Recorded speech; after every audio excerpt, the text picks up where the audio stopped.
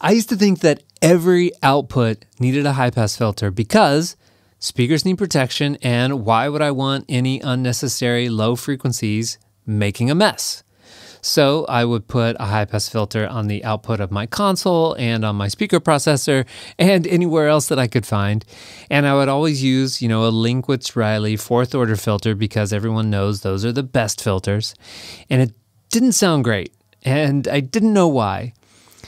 And at the time, I don't think I understood that I was, you know, doubling and even tripling down on filters, causing unnecessary phase shift and misalignment. And that's why I'm really excited about my new workshop because I'm finally getting to take a deep dive into crossover filters and all pass filters in a way that I haven't before in my other videos, articles, and courses.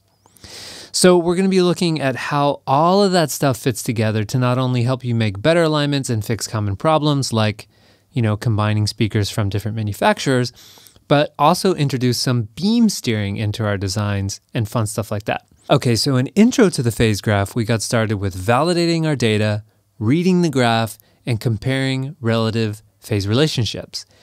In Phase Alignment Science Academy, we're going to cover the fundamentals of some of the most common filters in our toolbox and look at some practical questions like microphone placement. So, a few months ago, I published this 36 page guide to microphone placement for subwoofer alignment. And it's long and it's really interesting. But in this workshop, we don't have time for all that, right? So, I'm going to attempt to simplify that entire document that entire process into about two major categories that I think should work for most of the designs that you'll run into.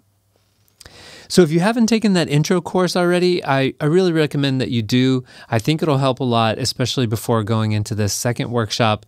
And as an incentive, uh, there's a discount code in that workshop. So, you'll sign up for the intro course, and then on the course page, there's a discount code for $20 off this next workshop. I am truly looking forward to sharing this stuff with you. So, if this topic of phase alignment is something that you've been wanting to learn more about, I hope that you'll join me.